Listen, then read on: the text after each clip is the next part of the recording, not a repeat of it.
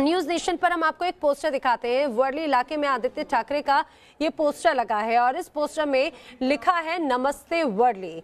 हिंदी, मराठी और उर्दू में ये नारा दिया गया है।